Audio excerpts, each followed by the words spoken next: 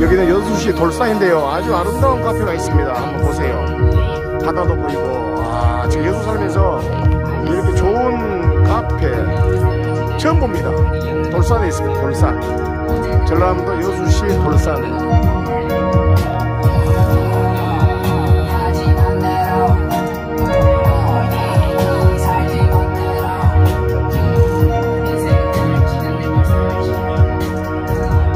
저 멀리 보이는 데가 여수 돌산대교입니다. 제가 볼 때 야경으로는 가장 아름다운 곳인 것 같습니다. 돌산 커피숍 아주 좋은데요. 한번 구경 한번 하시기 바랍니다.